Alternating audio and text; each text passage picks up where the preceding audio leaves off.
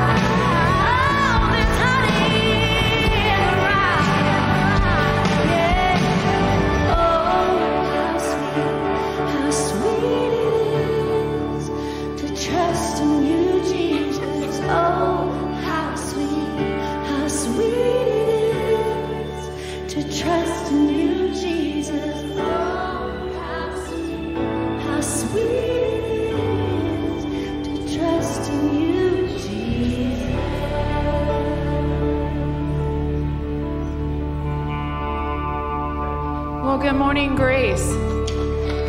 Who's thankful for God's provision, just like that? This Sunday, we get to come together and take communion. We get to give thanks, to remember what Jesus has done for us. So, Jesus said, Do this in remembrance of me. So, we're not only remembering and being thankful for what God has done, but what He is doing now and what He promises to do. His, he says that I will pour out my blood for the salvation of all men. All men. There's nothing we can do that can increase our chances of grace, and there's nothing we can do to stop God's grace. It's sufficient when He died on that cross. It says in Isaiah that by His stripes we're healed. That's physical healing, spiritual healing, and emotional healing. That's what God did when He died on the cross. Jesus says, I am the way, I'm the truth, and the life. He's our life. When he died and rose again, he wanted us to come with him, that we would have life eternally. And now, what he's going to do, it says in Revelations 12, and then I heard a voice from heaven saying, Now has come the salvation and the power, and the kingdom of our God, and the authority of his Messiah. It says, For the accuser of the brothers and sisters, that's us the devil telling lies about us. For the accuser of the brothers and sisters stands before the throne of our God, accusing them day and night. But this is the best part. And he was hurled down, thrown down. And it says, How? By the blood of the Lamb, by what Jesus accomplished on that cross, but also by the word of their testimony. That's you and I standing firm in what we know to be true. Jesus said his grace is sufficient, so we stand in that. That means it's true. Correct, church? It says that by his stripes we're healed. We stand in that. He says it, it's true. We keep pushing on. We keep praying for healing. It says that in him we have tr- we have life. That he's our truth, and we know that to be true because he said it. There is power in saying the promises of God and knowing they are for you, knowing they're for me. They're for my son. They're for my daughter. They're for Posey.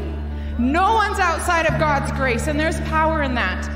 So, right now, we're going to take communion. There's elements back here and back there. And let's just take a second to thank God for what He did, the price He paid, and what He's going to do. So, sometimes we just need to have that moment where we tell someone, This is what God did for me. These are the promises that I'm holding on to because I need them. I don't see them right now. So, let's just take a moment, spend time in prayer, spend time with our family, and remember the awesome work that Jesus did, the incredible miracle that He did when He died and rose for us.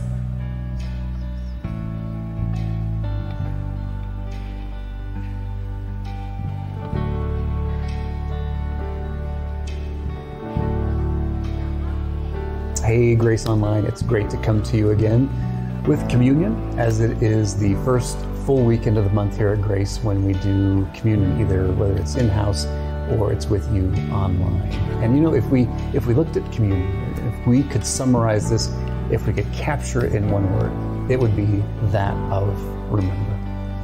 Can you imagine being around the table that night when Jesus was there with his disciples and he had the bread and he broke it and he gave thanks and he passed the bread around and he was telling them that this is my body which is about to be broken. And then he takes the cup and he passes the wine around and he says, This is my blood, which is going to be given or shed for the forgiveness of your sins. Could you imagine being around the table that night and then Jesus saying, When you do this, remember me? And all those things that happen and the things that we know, how how could we forget Jesus? It happens sometimes. You know what? The pace of life, the busyness, we go through certain seasons where we're maybe in a low spot. Um, and Jesus extends grace to us once more because he doesn't want us to forget. He doesn't want us to forget for what he's done for us on the cross and how he's coming back. He doesn't want us to forget that we're his kids. And so he says, when you take communion, when you do this, as often as you do it, remember me. So grateful for that grace that He extends to us. So if, as you get ready at home, the Bible says and it reminds us that on the night He took the bread and He gave thanks and He broke it. And He said, This is my body, which is given for you. When you do this, remember me. And then in the same way, after supper, He took the cup and He said, This is my blood that is shed for you. When you do this, remember me. So at home, as you have the chance to take the elements, remember Jesus, remember the grace that He shed for you.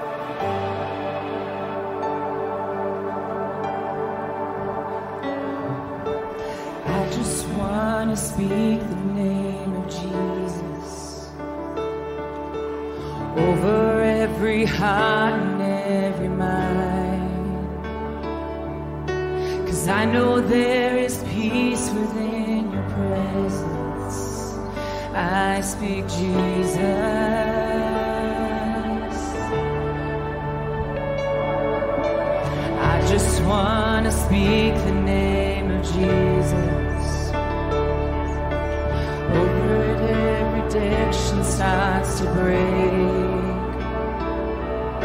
Declaring there is hope and there is freedom. I speak Jesus. Let's declare there is. Cause your name is.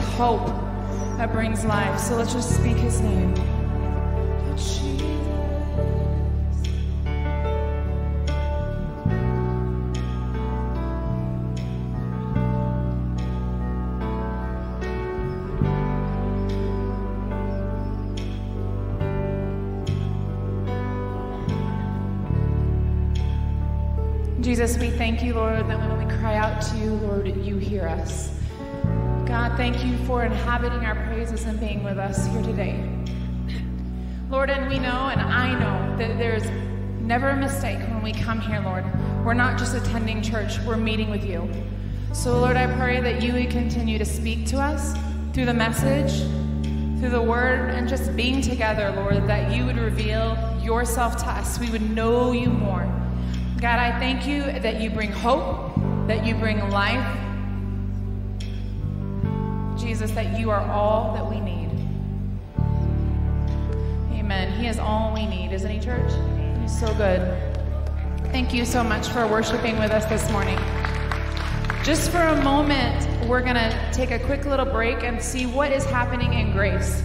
See what we can do, what we can be a part of.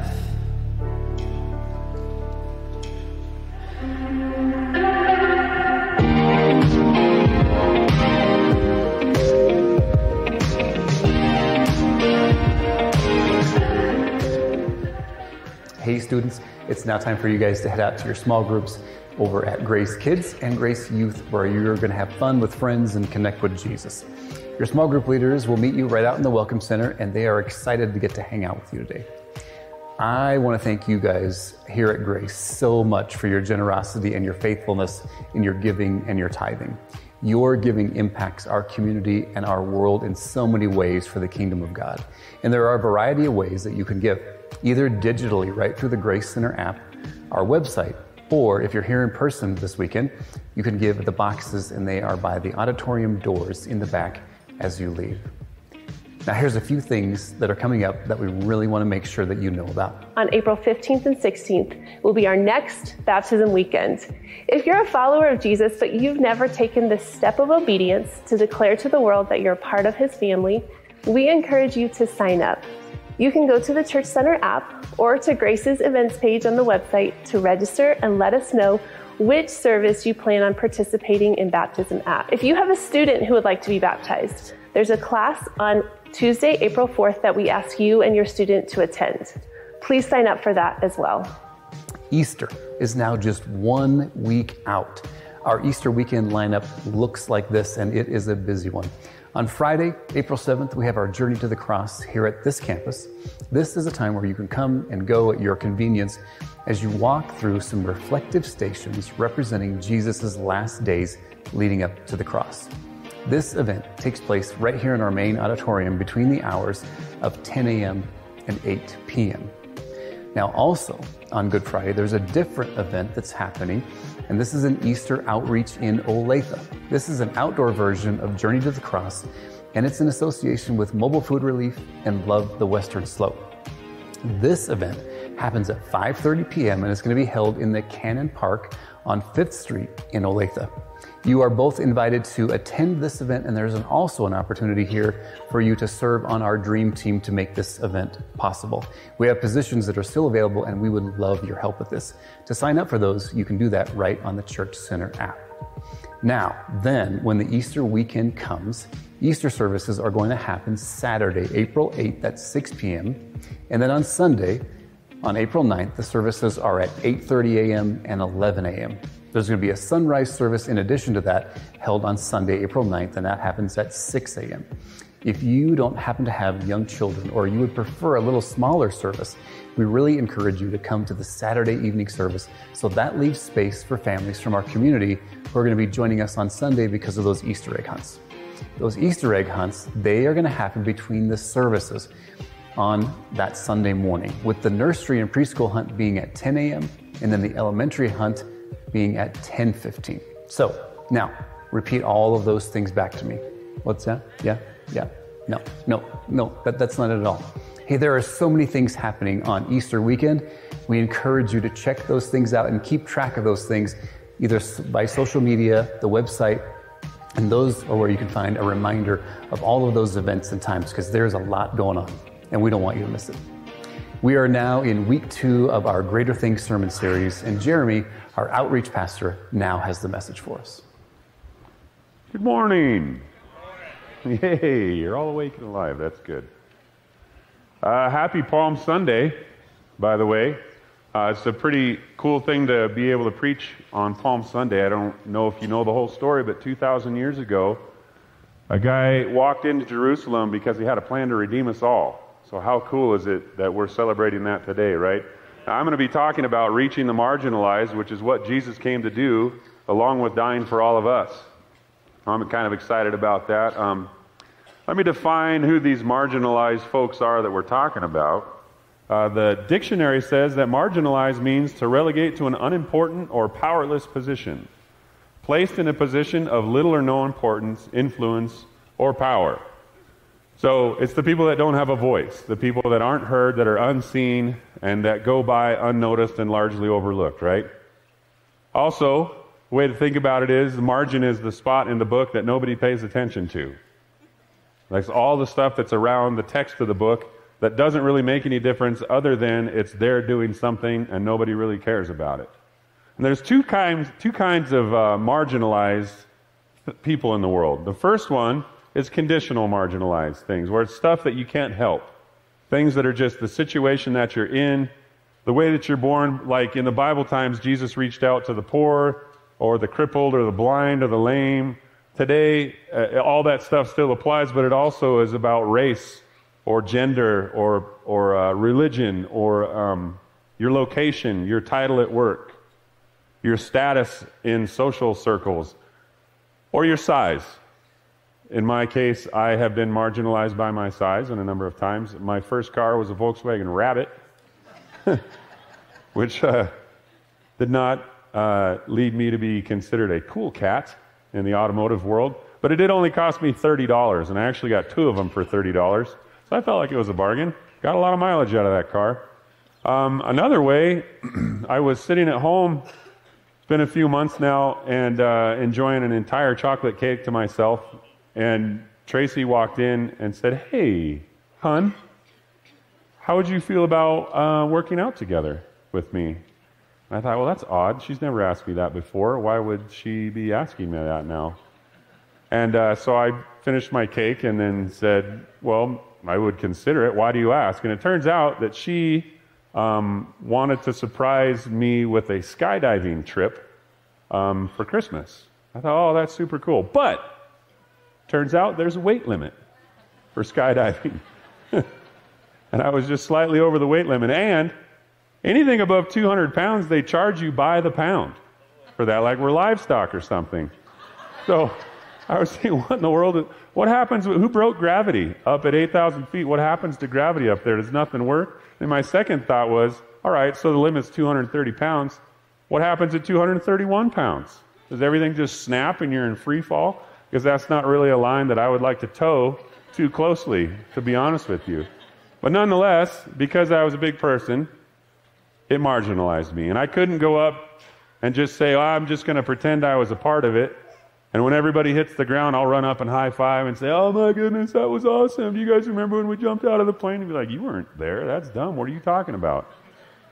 Because I would have been put on the edges of that scenario. It's a silly way to think about it, but that's kind of how it is. We're all marginalized by something, and it happens still today. The second way is that we get marginalized sometimes, put on the edges, and put in the surrounding area by our conduct, which is stuff like our habits or addictions, our um, political views, religion again temperament that we've grown up with and the way that just our isms and asms can sometimes put us out of the line of sight of people in our world, out of the line of sight of where we want to be, right? I have another example of this in my own life. You'll be glad to know. Um, about a year ago now, uh, Carl asked if I would fill in for the speaking duties at the Delta campus. And I said, sure, I could do that. And so put a message together and felt okay about it, but never had been to Delta before, so, you know, all about audience participation. And uh, was standing up there and, and started to feel a little moist in my underarms, a little bit. And so they went full T Rex and started to preach like this, you know. But uh, a couple of times I was like, yeah, let's get into it. And it's just dripping. It was nasty. Bro, you could have wrung it out. It was pretty bad. So uh, the condition that I was in, I know, and I, I look back, it was super embarrassing. And uh, I know that people noticed because I watched the video. I was like, yep, that's a pond of water in there. it's bad. but it, I'm sure what happened is there's some people that all they could fixate on was the fact that I had a lake under each arm. And I went back and Carl asked, Carl was very sympathetic. Uh, I asked, Carl asked how it went, and I said, I was all right. I just was a sweaty mess. And he looked at me and said, rookie. Thanks so much, Carl. but it's this conduct. So there's conditional marginalizing, stuff that we can't help, and there's conduct marginalizing, where it's the, the habits and, and things that form us and made us to who we are. But nonetheless, it sometimes puts us all on the edges, away from the place that we'd ideally like to be, and it leaves us unnoticed and overlooked. And Jesus, I did this study in the book of Luke on how Jesus treated the marginalized. And uh, there was basically boiled down to five times, five types of groups that Jesus emphasized when he reached out to people. And the first one was this. You may remember the story. Um, Jesus is at a place, and all the kids run up and are gathered around him and uh, saying, Jesus, Jesus, you're super popular with the kids. And the disciples said, Get the kids out of here. Jesus has more important stuff to do. Get the children away. And Jesus looks at him and says, No, let the children come to me. Let them be around me. I love the kids. In fact, not only do I love the children, they represent my kingdom. Such as the king, the kingdom belongs to such as these, is what Jesus said. So he gave value to the children. The second one that Jesus did that was super cool and made a point of doing was with women. Because back in Bible times, the way that women were treated is not the same as the way they're treated now. They were valued less than men and told to be quiet and told to sit in their place and all this kind of stuff. And Jesus, two times in particular, one was where the woman at the well, what Jesus said, I got to go this way through Samaria, which was not popular at the time. Well, we'll talk about that a little bit more later. But Jesus said, I'm going to Samaria because I got to meet this woman who's coming to this well. And if you know the story, Eric talked about it a couple weeks ago, or a few weeks ago now. But Jesus sat down, sat down at the well and just ministered to this lady. And the disciples come along and like, Jesus, what are you doing? Again, the disciples don't understand what's going, along, going on because Jesus came to pull these people out of the margins. First it was the children, then it was the women. And again, when Jesus is sitting at the house of some rich people, a woman comes in and anoints his feet with oil and is drying them with, washes them with her tears and is drying them with her hair. And people are looking at Jesus like, you don't understand who this woman is. If you knew half the things that she has done, you would ask her to leave. Again, the people that thought they knew what was going on are saying, Jesus, get this person out of here. You don't understand. And Jesus is saying, Are you kidding me? This is my daughter. This is part of my family. Another one, the third example, is with Jesus and lepers. And if you know anything about leprosy back in the Bible times, this was the grossest of the gross. The people, I mean, their skin would fall off, portions of their body would fall off. It was a flesh eating disease, right? And so they were banished outside of the town, outside of the city walls, away from all of society. And one day this leper comes walking up to Jesus and says, If you've seen The Chosen, it's a really powerful scene in that series where the leper is walking up and the disciples are saying, Whoa, Whoa, stay away from that guy. He is unclean. That's an untouchable. Do not go near him. And what does Jesus do? Walks up to him and lays his hand on it. I can just imagine the disciples saying, Jesus, what are you doing? That's disgusting. Don't you know that you're going to get sick? And Jesus says that he's moved with pity. He stretched out his hand and he touches him. So, out of compassion, Jesus reaches out to somebody that you're not supposed to be around, that I'm not supposed to be around, puts his hand on him, and moved with pity, he prays for him, and the man is healed. And then the leper goes away completely healed and sings the praises of Christ to his other people. But the third time, again, the disciples are saying, Jesus, you don't know what you're doing. Why are you reaching out to these people? Another time he did it with the guys called the Samaritans. And we've heard a little bit about this probably, but Samaritans and Jews did not get along in Bible times. In fact, like uh, in the story of the woman at the well, Jesus had to go without his disciples into Samaria because they actually had a path that went around the town of Samaria. They would take extra time just to not be involved with the Samaritans. I know it's like a almost like an opposing political view. How weird is that, right? That certainly doesn't happen anymore. but this lawyer comes up to Jesus and asks him a question, probably feeling pretty good about himself. The lawyer says, Jesus, how do I fulfill the law? What's the most important thing? And Jesus replies back, Love God and love your neighbor. And the lawyer says, Great, I can handle that. I have one more question, though. He says, Who's my neighbor? And I, I could almost hear Jesus blink when he says, Well, let me tell you who your neighbor is.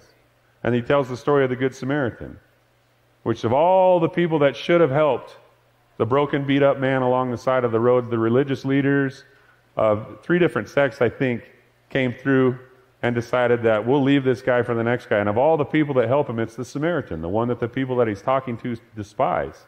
And there's two parts to this that I want you to pick up. That Jesus not only says that I'm supposed to love my enemies, is one part of it. Jesus is saying I'm supposed to love the people that I despise. But the second part is this Jesus says, not only are you supposed to love them, but those people have value. Those people are worth loving. And the enemies that we look at and say, we've put them over here because of whatever the conditional, the conduct, however we've decided to marginalize people, not only are we supposed to love them, supposed to reach out to them, but they're worth loving. They're worth spending time on. And that's what Jesus was doing again and again and again throughout the Bible is refuting these lies and everything. And last but not least, the whole reason Jesus came was to save a world that hated him, that had wrecked it from the beginning. And Jesus came to die for the sinners of the world. Right? I want to read you uh, Luke chapter 15, starting in verse 4. It's the parable of the lost sheep. It says, Suppose one of you has a hundred sheep and loses one of them. Doesn't he leave the 99 in an open country and go after the lost sheep until he finds it? And when he finds it, he joyfully puts it on his shoulders and goes home. Then he calls his friends and neighbors together and says, Rejoice with me, I have found my lost sheep. I tell you that in the same way there will be more rejoicing in heaven over one sinner who repents than in over 99 righteous persons who do not need to repent. Well, here's the thing with this story. I had a hard time with it because, uh, as a human person, U.S. American, I look at that and say, well, 99 is pretty good odds. I mean, that's 99%. I would take that in a college class. Not that I went to college. I went to the School of Hard Knocks, graduated with honors. Thank you very much. Amen. Yeah. We've got graduates in here, I'm sure. but Jesus says, I'm going to leave the 99 and go chase after the one. And I think, well, why in the world is that? I mean, it's partly because it's obvious that everybody's valuable, but the key that I came to is that Jesus looks at 99 and says, well, 99 is not enough because there's one out there that's lost. And oh, by the way, I paid for 100 with my life. I paid for 100% of the people. And sometimes I go out, and you've probably had the same experience in evangelism, where it seems like not only do the people not know that they're lost, the sheep don't understand that they're wandering around without a shepherd, aimless with no direction in their life, but sometimes people understand that they're lost and they just don't care. Or they understand that they're lost and they're totally fine with it. Like, I don't, it's, it's fine. I have no idea what you're talking about. It doesn't make any difference to me. But the point is not that we gauge who gets the hear the message of Christ, who we put over in the corner and let go and look over and don't see. But the fact is that Jesus paid for a hundred of the sheep. 100% of the sheep were died for. So I don't have the privilege to decide who I put in the margins. It's not my responsibility. That, that has not been granted to me to overlook people. And it's kind of a hard truth. And it, honestly, it made me feel convicted uh, initially, sort of slid in there with a little guilt weaved in but more convicted that I don't have the privilege of overlooking people because I'm not the one that paid the price for them. Jesus paid the price for me, and he paid the price for the other 100. And he looked for me and he found me. I'm so thankful that God put a person in my life to come and find me. And we can all, who've given our lives to Christ, be thankful in the same way that we weren't overlooked, we weren't forgotten, I, we weren't placed in the margins indefinitely. And the thing to remember is that we've all been separated from Christ, separated from God by our sins, marginalized by the things that have corrupted us in our own life, except for Jesus came and paid a price for us. We all were in the edges outside of God's story at one point. Every one of us, until we accepted Christ into our hearts. Romans 5 8 says, While we were still sinners, Christ died for us. Good verse to memorize. And in fact, one of those ones that when you go to talk to somebody about Christ, you should repeat it in your head. That man, while I was still a sinner, Jesus came for me. Jesus sent somebody for me. Even while I was a mess, Jesus didn't overlook me, and He had a plan in mind for me. And again, we were all on the outside, except for Jesus came and intervened for us and brought us back into relationship with Christ. And this is probably not new information for you, but it does tend to level the playing field a little bit when we go out into the highways and the byways. And when I say highways and byways, I'm not talking about going to the corner where all the druggies hanging out. I am talking about that sometimes. It's not just that though. It's not just going to give lunches and meals to people at Shepherd's Hand, which is an awesome thing to do. But it's the people that sit next to you in your office, the people that you work with on a construction site. And it's really not hard to see these people sometimes. The ones that always are on the outside of the conversation, but yet they want to be in somehow, whatever the conversation is the ones that feel unimportant or the new guy, or even sometimes the boss that everybody hates. That never happens, I know that. But it's tough sometimes to be a boss. And if you are a boss in here, you know how it works. It separates you a little bit. And you can feel overlooked and underappreciated. And like every time you walk into a room, everybody gets quiet. it's not like they were talking about you. but you know what it feels like to be marginalized. So this happens everywhere. All over the place, people feel like they're in the margins. And again, in reaching the marginalized, it's, it's everybody. And it's mostly the people that are close to you. So it's important to remember the stuff that we've been saved from, how God brought us out of the margins and back into His good grace, to where we get to live a life full of Christ and full of who God has created us to be. I have a, another question for you. Have you ever heard um, someone say, that person would make such a great Christian. Anybody heard that before? I was thinking about that this week, um, thinking, who in the world made that up? Because uh, it's like, is, is somebody already mostly saved and just need that one little extra push? I mean, what does that even mean? Like, man, you would fit so well in our church congregation because I like the clothes that you wear, and most of the time you don't smell like a foot. You're non offensive. So I think you'd fit right in man, you would make a good Christian. Is it because they're nice somehow? Or they say the right things, they don't swear too terribly much? How do we push that people, those people over the edge? Because I know they're pretty much Christian already, just to get them into church. And it's such a distraction to us to think that that's the kind of person I want in my church because they'd fit in so well. My goodness, where did that come from?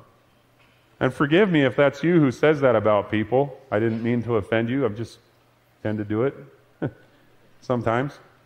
But that has nothing to do with who should be in church or who should be given the right to know about Christ. because Again, I don't have the right. God did not give me the privilege of marginalizing some and overlooking some and not overlooking others, the ones that seem like they would fit in. Because again, Jesus came for all the sheep, paid a heavy price for all of the sheep. And yet people live in these blank spaces around us all the time. And I am, I am guilty of this, even as the outreach pastor. And, uh, you know, I've been, I, I stand up here and, and give messages on how to reach people. I've been doing this for a whole year now. So thank you for looking at me as an expert. it's not the case. But in my lifetime, I have experienced a lot of people who just a glance, just a notice, just a hello, just noticing the pain that they're going through, or just asking one question about how was their week, how was their life, Is there anything that I can do for you? Is there anything that I can pray for you? Because a lot of people live in the margins. And again, I'm sure you've experienced it yourself, where people just live on the outside of what everybody else is doing. And it's not a comfortable place to be. So, how do we get people out of the margins? Think about your own conversion experience too. What was it that finally brought you in through a relationship with Christ? For me, I can tell you, was about uh, I gave my life to Christ in about the sixth grade uh, at a Bible camp. But when I was 17, uh, my youth pastor approached me, and uh, up until that point, I was viewed kind of as a just a joker, and nobody took me seriously, and I was all right with it. But knowing that there was something more that I could do with my life, he came up to me and said, It would be cool if you were on my leadership team and help me lead other people. And that's the difference that was made to me. Somebody came to me and said, I think you're got a little more potential than just being a goofball. Which I appreciated. But that was what I had become up until that point. And somebody says, Jeremy, come up here. And there's probably people in your world that you could look at and say, I, I believe you have a little more potential than where you sit right now. And how about people just have a good experience with Christianity for a little bit? I've been saying this for a long time with our, our team is the last thing I want to do is present the gospel of Christ. And when I say something that that might be church related, people immediately think, oh, I'm not religious. Man, that bugs me. I'm not religious. I'm like, well, neither am I. And I don't want to present something that might as well be Amway to people, but a relationship with Christ that brings value into their situation and brings value into who they are and who they've been created to be.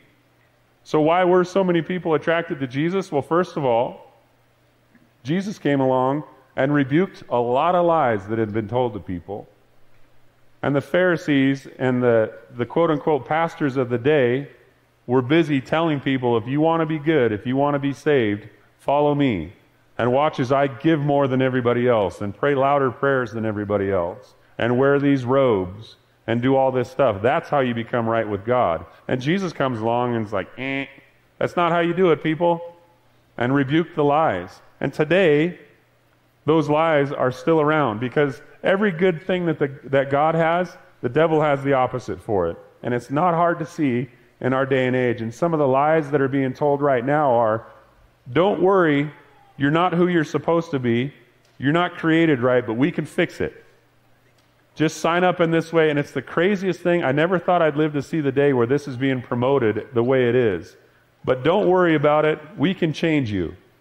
You can be whatever you want. You can be any gender of any kind of gender. I don't even know how many they're up to now, but there's a lot. But we can change you. Imagine the psychological damage that is going on in our schools and on our campuses right now when people are being told that you're not right, we can change you.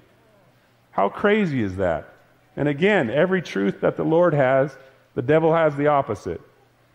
And we're here to tell you on our campuses, on our, in our families, in our churches, in our supermarkets, everywhere, that God created you to be who you are. It's not by mistake that you're who you are.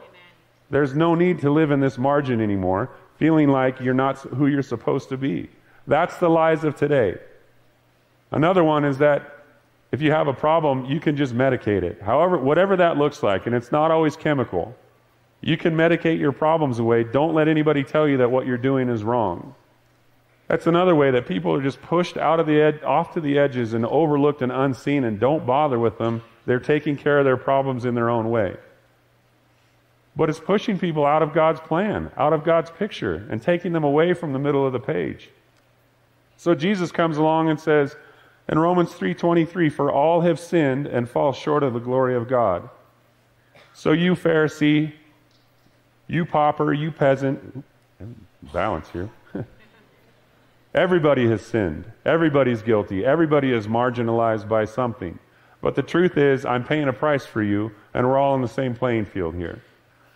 So Jesus takes these people and restores their value, gives them value in Christ, and says, I see you, I know who you are, I've created you, and I'm proud of who you are, and I have a plan for you. That was the first thing. Second thing is this Jesus was indiscriminate in who he sought out.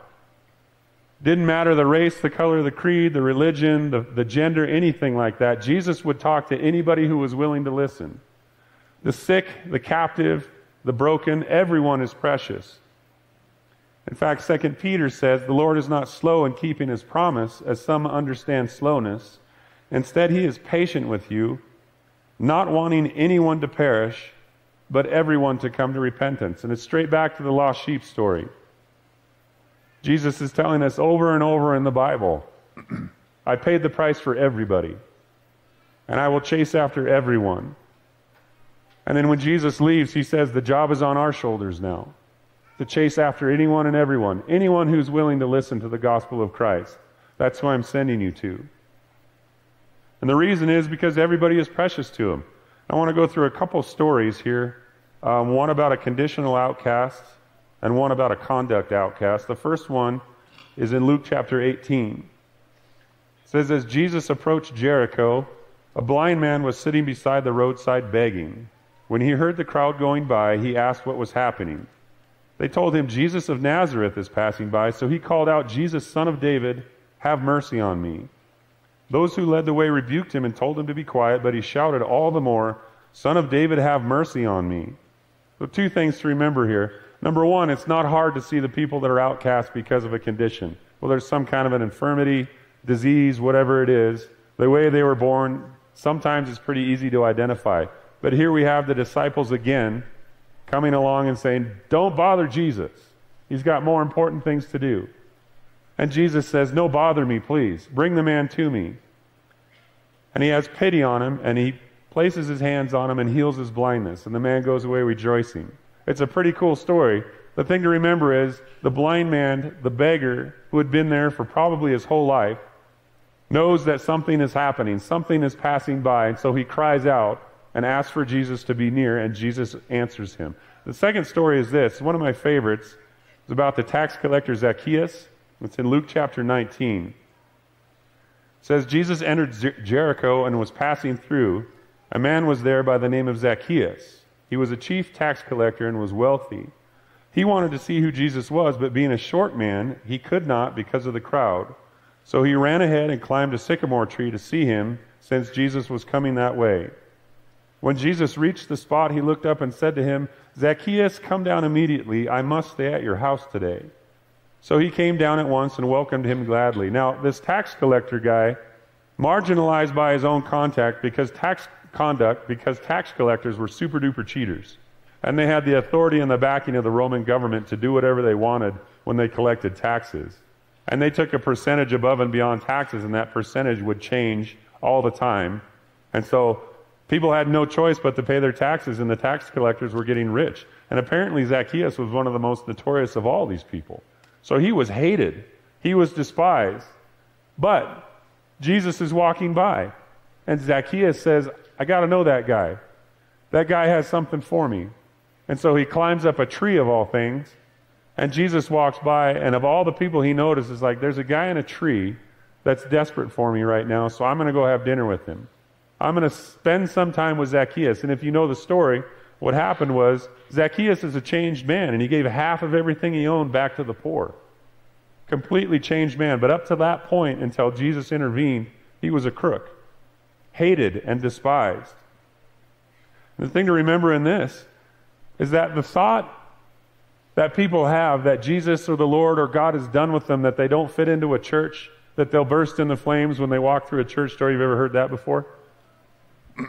the thought that Jesus isn't finished with them, somebody comes along and says, Man, God created you to be exactly who you are, and sin has corrupted you, but Jesus has a plan to redeem you. That's pretty attractive to people who have heard their whole life that I'm despised and hated and overlooked and forgotten. And the thing about all this stuff is that all these things that put us in the edges, that marginalize us and get us overlooked and unseen, all that stuff happened yesterday. And it's behind us as long as we let it go. And it's behind the people that we witness to, the people that we evangelize. All that stuff happened yesterday. And people love to sit in the pit that they live in and they identify with it and it, it makes them it makes it easy for them to behave the way they do because no one's told them there's something else that's better And it becomes just part of their persona. And I'm guilty of it. Frankly, it took a long time for me to quit being just a goofball because it was comfortable for me. You know, I might say, You gave that up? yes, I did. It was worse. Philippians chapter 3 says, Brothers and sisters, I do not consider myself yet to have taken hold of it, but one thing I do. Forgetting what is behind and straining towards what is ahead, I press on toward the goal to win the prize for which God has called me heavenward in Christ Jesus. And what it's saying is, leave the past behind you. Find out who you are in Christ.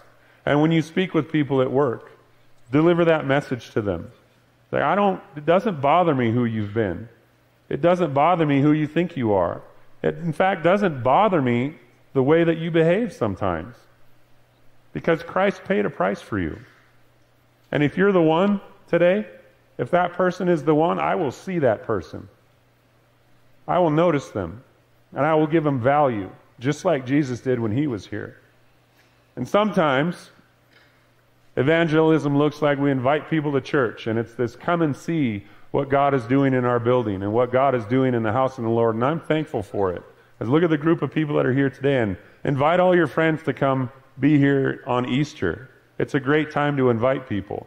But other times, evangelism in reaching the marginalized is a go and tell type of evangelism where we're supposed to get out of the box that's comfortable. And it's, you know, you expect to hear someone preach at you when you come to a church. It's a little different when you're out in the highways and byways at your office or wherever it is to be, to be able to uh, evangelize well and reach the marginalized. It takes a little effort. But nonetheless, Jesus says in Luke, I must preach the good news of the kingdom of God to the other towns also, because that is why I was sent. So sometimes Jesus just went. He said, We got to go to a different, we got to go to a different town. There's a couple of ways, practical ways, that we're going to do this this week. One of them is the Easter event in Olathe. And if you haven't been part of one of our outreach events just yet, they're pretty fun.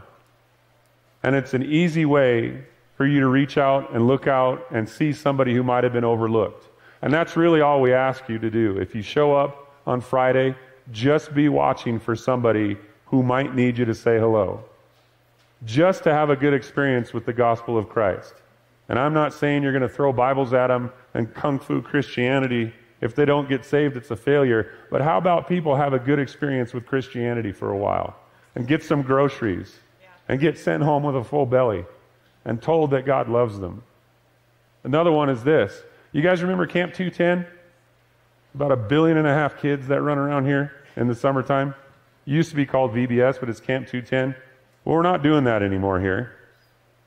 Um, we're actually using uh, this Camp 210 as an outreach opportunity. So it's going to be partnered with um, Grace Kids here, Grace Kids in Delta, and our outreach team.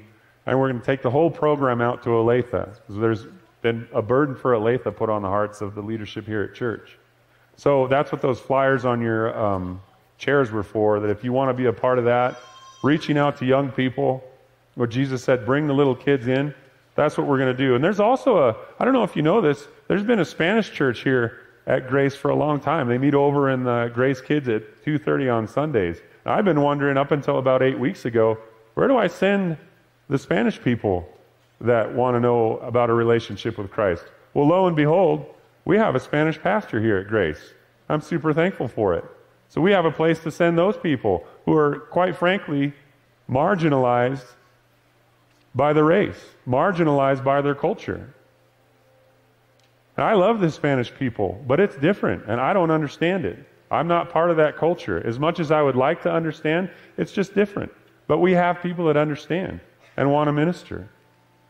And Carl was asking me, how do we reach the Hispanic community? I was like, well, first thing, you find somebody else to do it than me. Well, we have that person. We have that team here. It's the coolest thing.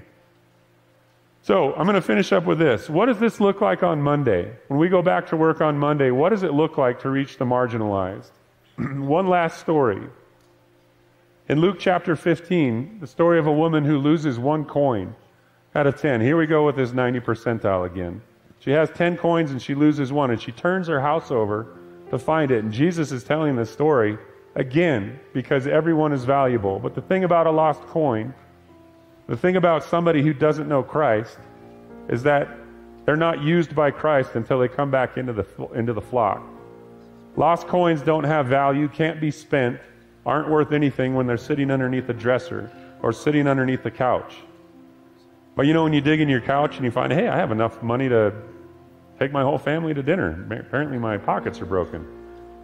But when you find that money, you can spend it again. And it's the same way with people. When you find the one person who might be ready to know Christ, you find that person who's ready, who's like, Jesus is walking by me right now. Jesus is close by, and they're ready to reach out.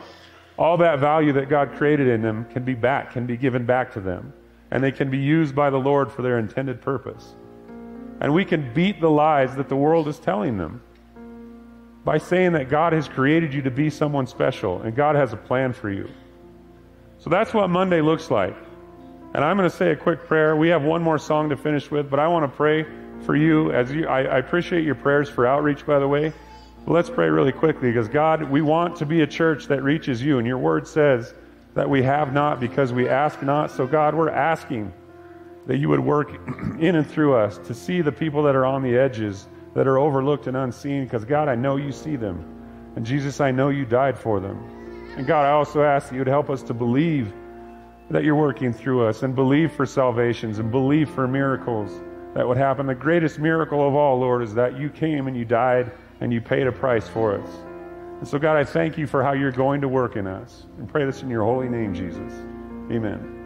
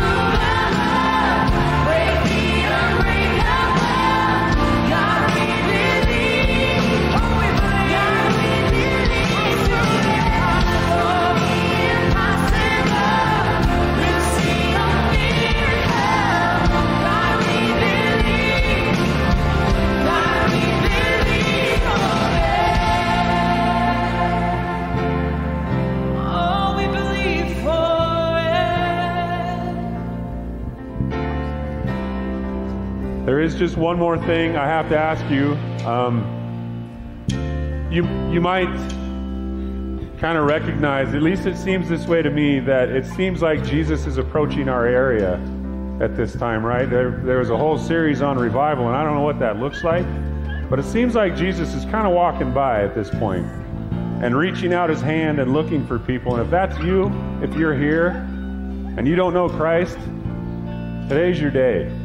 Reach out your hand because Jesus sees you. Jesus knows you. Jesus wants to be a part of your life. And the second thing is this we want to pray for you, but if you want to reach people and you want prayer for that, come up to the front. We'd love to pray for you. We'd love to be a part of the story where you're you're having a testimony about how many people are coming to Christ. I mean, how cool would that be?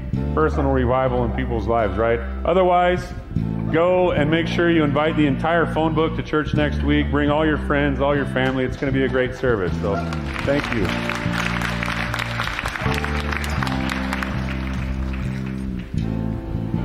Thank you guys so much for joining us this weekend at Grace Online. We'll see you next week at the same time, same place. And just a reminder, you can follow us through all of our social platforms, including Facebook, Instagram, and TikTok. You can also register online through the Church Center app for any upcoming events or small groups. You can also give through the Church Center app or online through Grace's website. You are some of the most generous people we know, and we celebrate what God is doing through your faithfulness in this way. Have a great week.